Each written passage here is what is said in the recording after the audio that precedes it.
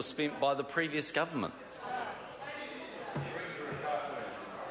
Question number nine, Andrew Williams. Thank you, Mr. Speaker. Question to the Minister. Question to the Minister of Consumer Affairs. Has he seen any reports that New Zealand power prices have increased at twice the rate of most other countries? The Mr. Honourable Speaker. Craig Foss. Thank you, Mr. Speaker.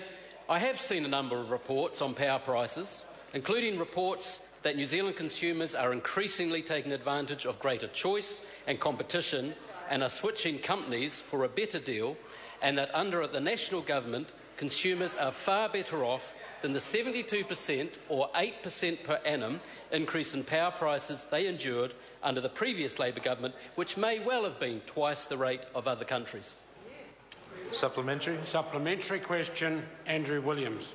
What steps is the government taking to address the widespread concern with rapidly escalating power prices, as is reported in the New Zealand Listener this week?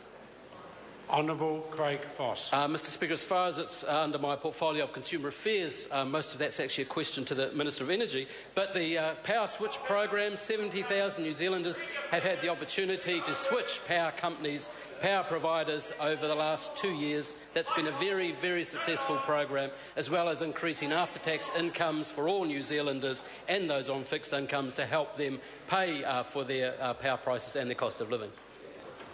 Supplementary question, Andrew Williams. Given that power companies are making record profits despite falling demand for electricity, why are power bills so high?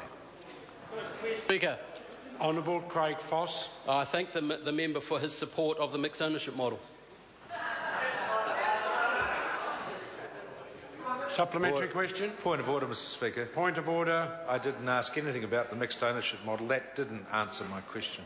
Put the question again, please, and uh, Given that the power companies are making record profits despite falling demand, why are power bills so high?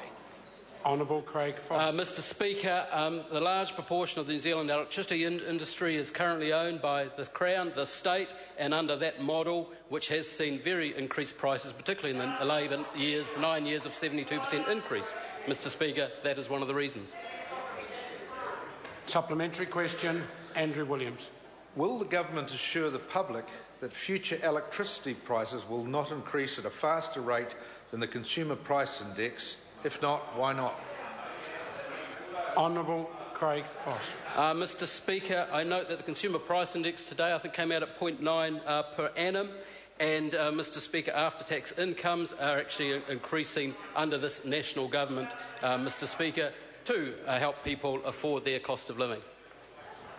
Order, Mr. Speaker. Point of order, Andrew Williams. Uh, that was a simple yes or no answer re- required. He didn't answer the question again. Well, it, the member can't demand a simple yes or no answer, but I accept the point that the, the question was not addressed adequately. Would the member please ask the question again? Thank you, Mr. Speaker. Will the government assure the public that future electricity prices will not increase at a faster rate than the Consumer Price Index? If not, why not? Honourable Craig Foss. Uh, Mr. Speaker, that should be addressed to the Minister of Energy, but I can assure on recent track record, Mr. Speaker, that under the national government, power prices have increased about a third to ha- half to a third of the rate under the previous Labor government.